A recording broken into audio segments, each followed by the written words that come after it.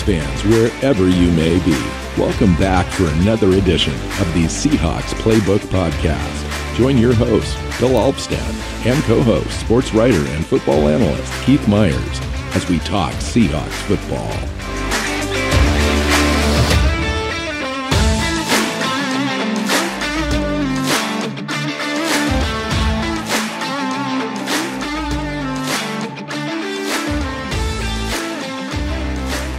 Fans, welcome back to another edition of the Seahawks Playbook Podcast. I'm your host, Bill Alvstad, sitting down with Keith Myers. Keith, welcome into the show. We're talking Seahawks football.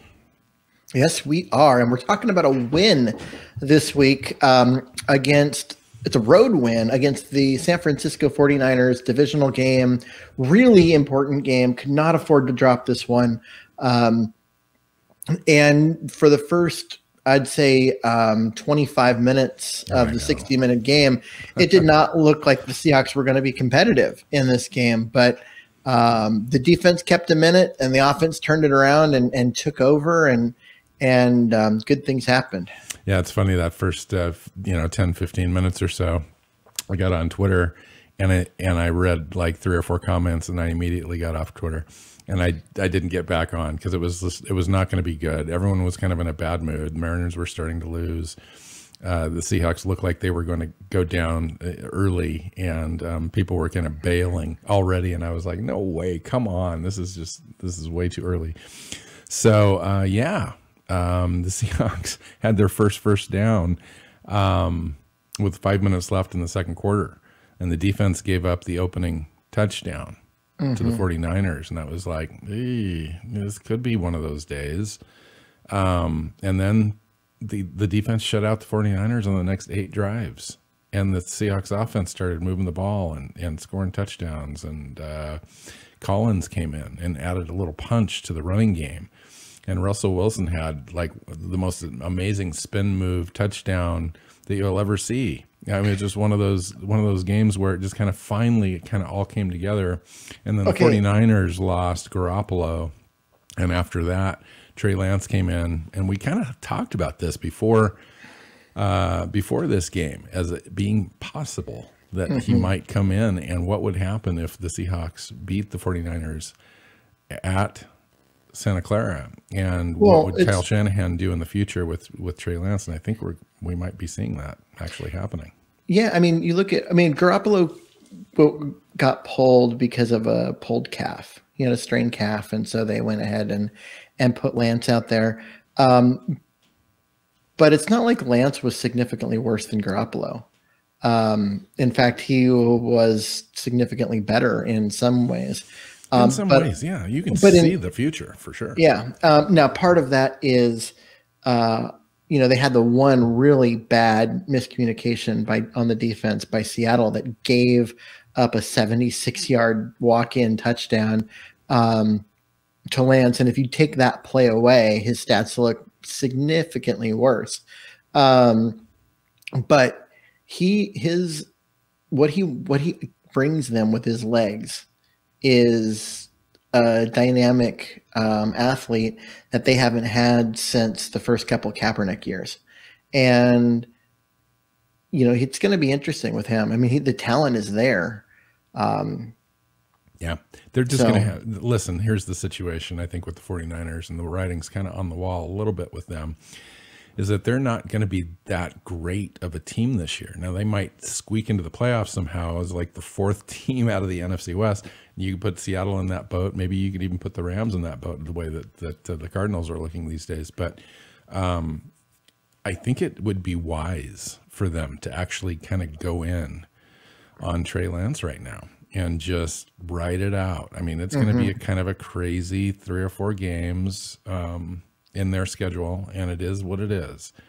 But um, I think they need to do it because Garoppolo's ceiling is just not that high. It just isn't. And, you know, I'm, I'm not trying to pull for the 49ers here. I'm just saying if I was them, I would make this investment. Yeah. Um, I mean, so Garoppolo's line in the first half was uh, 14 of 23 for 165 yards, one touchdown, one interception, but a long of 26. Yeah. And it's an okay stat line. It's it's kind of a mediocre. It's like his stat line for every game. Yeah, and it's a rating of seventy nine point one. Now, back in the day, um, when defenses were allowed to play defense, you know that would have been a pretty good stat line, but they're not, and that's really just not going to cut it. Um, I mean, He's compared not going to take over the game. I mean, you, my fear, and this was real at the time. I think you and I were texting. I was like, oh, sh- oh crap, you know, Trey Lance is coming in. It go go figure that he appears in a Seahawk game and watch him just go down and you know win this game or whatever. It didn't happen, but I'm not thinking about that with with Garoppolo. I'm thinking mm-hmm. about that with Lance. Like that's a guy that can actually do some damage at some point, and yep. You kind of let you, you, let that guy just. He needs he needs to lumps. play. Yeah. He needs to play. He needs. He's going to take some lumps. He's going to make some mistakes. He's going to. It's going to look ugly at times, but that's part of the maturation process with the rookie quarterback. I mean, it was that way in Seattle with um, Russell Wilson. Those first, you know, four or five games were not all that pretty. And then so things kind of came together. Let's so. stop talking about their quarterback and start talking about our quarterback. Like what our, happened? Yay, Wilson fastest to 100 wins in NFL history. That's the yep. banner. He got Yeah, so fat the the fastest quarterback to 100 wins in NFL history and he is the only or the only quarterback other than Peyton Manning to reach 100 wins in his first 10 seasons. Manning ended up with 105 in his first 10 season, which means Wilson needs five more wins to match that six. Wow. That's just that such record. a significant thing, you know. And I heard also too the Iron Man type stuff that they were talking about in the in the broadcast, where Wilson had had reached his 165th regular season uh, consecutive start and uh, that it's fifth already fifth all time um, for a quarterback um, in, in, consecutive starts, which is just remarkable, really. When you think about when he started, when you mm-hmm. think about some of the things he was saying early uh, in training camp that first summer, where he was just like, "I want to be great," you know, no time for sleep. All these like you know silly things now that, that we assumed were just kind of just self pep talk type things, and they were. They but were. He meant them. You know, he meant them what when he when he was saying them, and he came to actualize those things. It's just remarkable. Yeah, Wilson's been fantastic for Seattle, and I know there are people out there that, for some reason, one reason or another, they don't like him, and um, I don't get it. Um, I don't understand. He's been easily the best quarterback this franchise has ever had. Um, Easily. He, like, I mean, Matt Hasselbeck would be number two, and honestly, it's just it's not even close. It's not even that close. And I'm and I'm a Hasselbeck fan. So yeah, don't sure, um, sure, sure, sure. And uh, it's and you're right. It's not even close. Like Wilson's just he's just head and shoulders better than than the other quarterbacks that this franchise has had. Um, and yet some people just continue to talk about him like he's not very good. I, yeah. I, well, I, I mean, all you have to do that. really is a. I mean, just look. It, it, he had two more touchdowns in this game. No, no more turnovers. Doesn't have any turnovers on the year.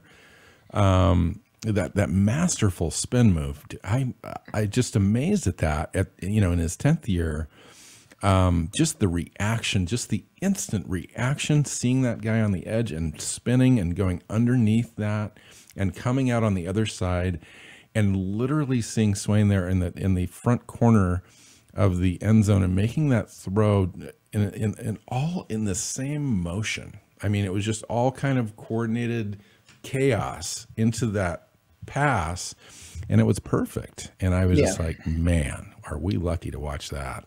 Well, and it, yeah, I mean, that's that's the thing about that whole play that amazed me is you're you're you, you've got pressure and you're like right in your face and you're making the spin move in order to, to avoid getting sacked and yet you're still know where your receiver is downfield to get the ball out get the ball where your guy can catch it and it's not going to get picked yeah. um, and make it that touchdown. I love the duane brown quote. Duane brown quote. I was speechless man. I just went up to him and i said you're a bad mf'er End of quote. That's the quote.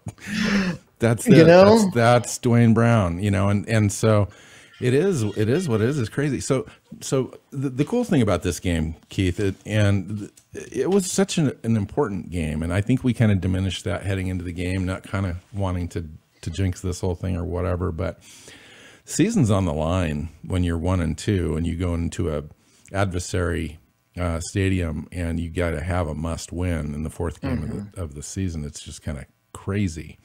Um, and so they ended up finding a way to do that. And they really did come together. Um, it looked sketchy early, and I have to have the, give them credit for having both sides of the ball come together. Really, um, the defense came together. Um, they did put a little bit of pressure on Garoppolo early. Um, they were able to get some stops in the running game. I thought the the pass defense in this game was actually pretty stellar. Um, they Uh, had five. did- They had nine pass defenses and, and, And- one and- interception. we need to talk about that because there were some there were a pair of significant personnel changes uh, made in Yes. this game and they paid dividends first of all um, flowers was benched in favor of sidney jones Yeah, and Cody second- Barton and Tre Flowers paid, played a combined zero snaps in this Yep. game. and um, the other one is that uh, ugo amadi lost his most of his snaps to ryan neal the backup strong safety slash cornerback slash do everything defensive back. And I got to tell you, Ryan Neal played a great game. He, Yeah, no, he, was uh, he was the extra dime defender in this game. Played 24 defensive snaps, 13 on third down, Mm-hmm. and Neal alone contributed to at least four third down stops. A couple Yeah. of those against George Kittle. I thought Mm-hmm. another guy that played really well was Jamal Adams. Jamal Adams have a, had a heck of a hit on Kittle to prevent a reception uh, later on in the game when the kind of the game was still available for San Francisco to make it, you know, somewhat doable. And um, Jamal played a great game. Uh, Taylor had his third sack in four games as a Seahawk. I just thought overall it was a really good, solid performance. So Taylor had his third sack, and he had some other good moments. Um, he also did, he rolled an ankle, didn't he? And and so and- he is questionable for Thursday. We'll Yeah. have to watch that. Um, so at the at the end of the game, the Seahawks had that fourth down stop um, on the outside stretch zone to the right, and you know uh, Jordyn Brooks got the press for that stop because he was the guy who came up and make, made the tackle. But that play was made by Alton Robinson, who was playing the Sam linebacker spot in Taylor's spot, setting the edge on the outside and forcing the back Trey Sermon inside where um, where Jordyn Brooks could go get that tackle. And it, I'm sorry, that was just a fantastic play that doesn't show up in the stat sheet. No, most fans won't even notice, but it's a guy. He's used to being a defensive end. They're asking him to play Sam linebacker. It's not like his natural thing, but he did his job extremely well, and it paid off. Mhm. And when when everybody does their job, and they don't try and freelance and do other people's jobs, uh, that's how good defenses are are played. And uh, that happened more in this game than it has in the previous two. Guys just did their took care of their responsibility and didn't try and freelance and didn't try and like go for the big play by getting themselves out of position. And So let me ask you this. I know that, that we had a lot on the line in this game, but do you believe, you know, when the, when I say that the Seahawks shut out the 49ers offense on the on the next eight drives after the initial touchdown, is that more uh, in favor of the Seahawks or is that an indictment against the 49ers right now? I don't think it's an indictment against the 49ers. Their their offensive line is still good. They're um, I liked what I saw from Trey Sermon in this game. They've um, Aiyuk and, and Samuel uh, at wide receiver are dynamic. Kittle's one of the best ever. Um, I mean, they have some issues at quarterback, but Garoppolo's, you know, he's not terrible. You're not running out, um, you know, Kelly Stouffer or Dan McGwire. Sorry, Seahawks fans. Um, Wow. um, right? You're not you're not running those guys out. Um, Stan Gelbaugh. There you go. Uh, God, you're just pulling them all out. They were all in the team, same. They were all in that '92 team. They were all bad. Uh, but you know what I mean. Like they they've got the pieces to, yeah. to do stuff. Well, um, the good um, news is, I mean, in prior games, the Seahawks have really allowed a lot of explosive plays, limited the 49ers to just six in this game, um, mm-hmm. which was quite an improvement for them. Um, George it Kittle is. had a, had a pass, a couple other guys. They, they, they threw to their tight end, nobody had ever heard of on that 21 yard opening touchdown, Dwelley. Um, Deebo Samuel had a 26 yard pass reception in the first quarter. Trey Sermon had a 15 yard run in the third quarter after things were kind of settled. You mentioned the 76 yard touchdown pass to Samuel with 222 left in the third quarter. And then the scramble, 13 yard scramble by Trey Lance with a, a minute 47 left.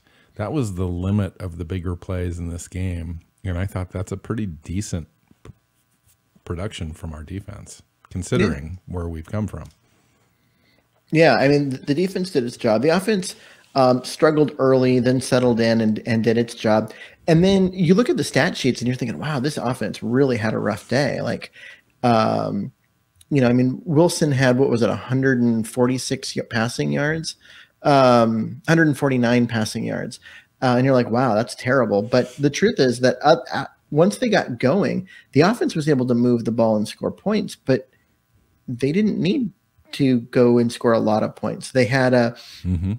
you know, Cannon had that fumble and gave the Seahawks the ball down near the end yeah. zone, and yeah, and I mean, there was a there was a full quarter left when when I I think I texted you. I said, okay, run the clock.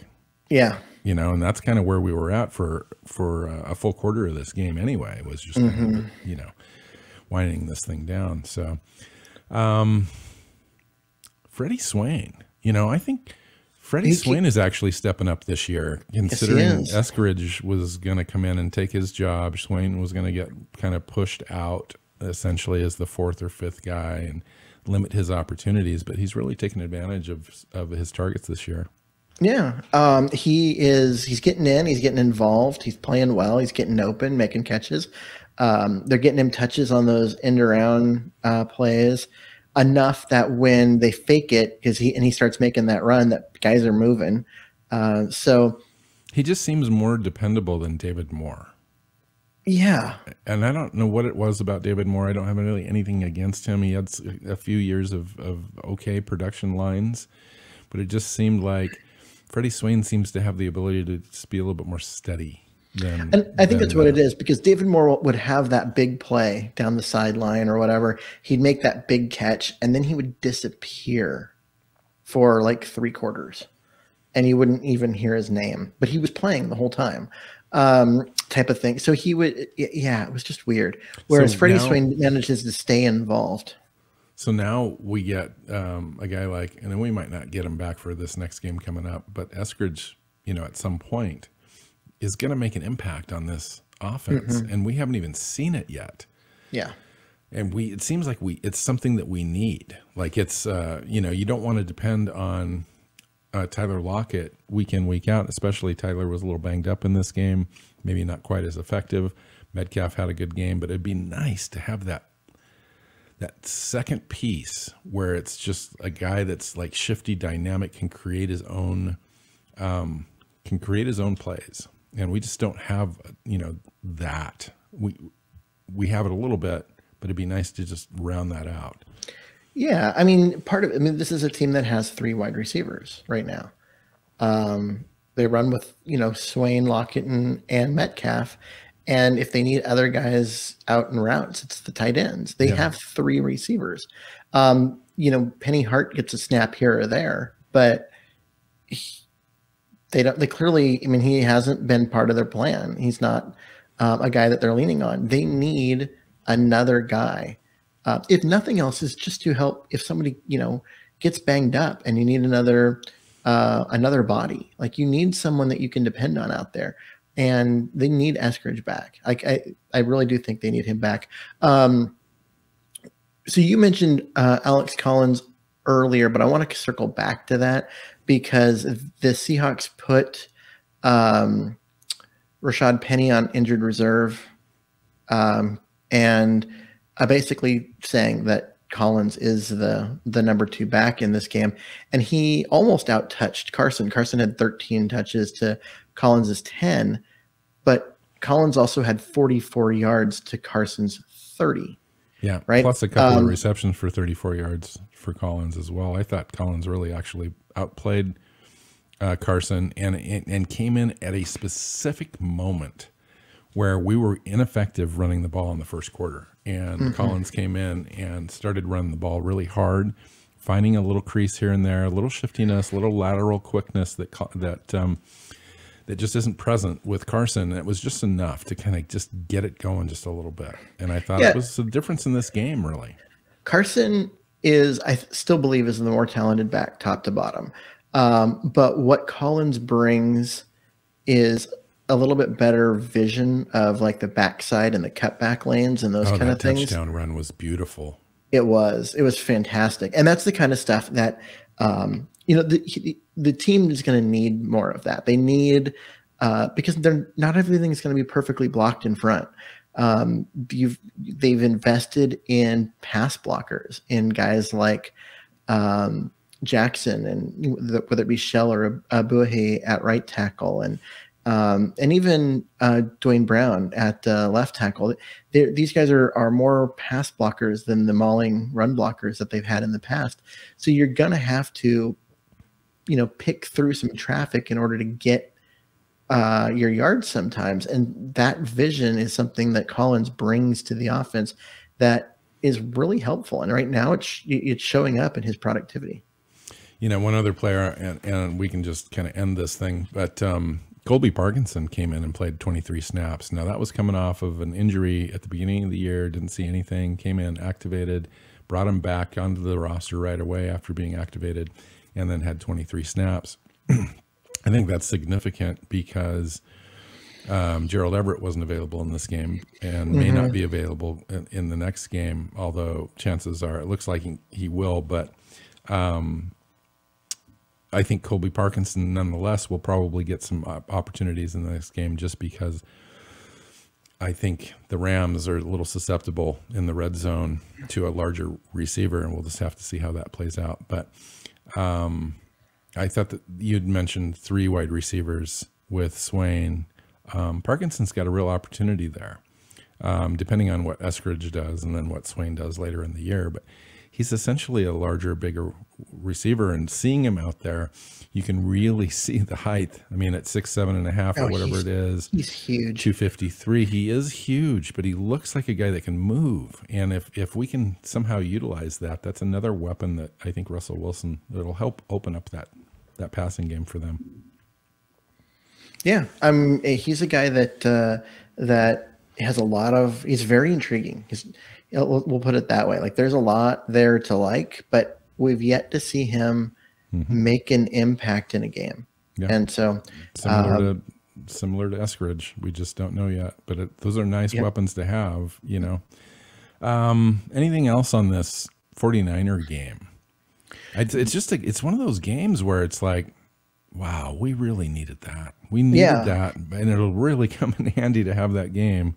as a win when we're you know at the at the back end of the season for sure absolutely. I mean, I was looking at this and, and I was like, the closer we got to game time, the less comfortable I felt. And then that first quarter, when the offense just could not get out of its own way, I was like, this season's going downhill. Like they're gonna if they lose this game, and then they on Thursday night they lose to the Rams, Oh, and so then you're then I'm looking at you're looking at oh god they're they're one in four. This would have been this would be the first season of of recording shows with you where we've had to talk about losing and strategy around draft picks again and and all that and looking forward to the future and who do we play now and who do we sit and all those kind of conversations. While they're they're they're great conversations to have, nobody wants to have them. Yeah, I mean, we we'd be looking at that. We'd be looking at you know, um, as a team, do you do you do you trade Bobby Wagner now and get a pick for someone who who desperately wants a playmaker? Um, you know, just these things that are just absurd. But we'd probably end up talking about them before uh, the trade deadline. But they get this win. It's a it, and it's it's such an important win because now Yeah. now regardless of what happens it's a division win. yeah, regardless of what happens on Thursday, right? um, they could be two and three, but through the roughest part of their schedule. Yeah, well, Um, and you you damaged the 49ers.